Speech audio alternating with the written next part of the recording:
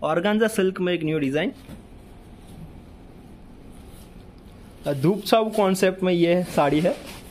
ये है इसका ब्यूटीफुल सा पल्लू टेसल वर्क के साथ, आप देख सकते हैं। पटोला डिज़ाइन में आपको मिलने वाला है। विविंग वर्क के साथ।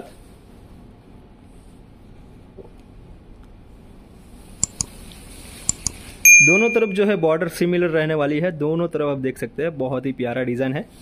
पटोला डिज़ाइन रहने वाला है।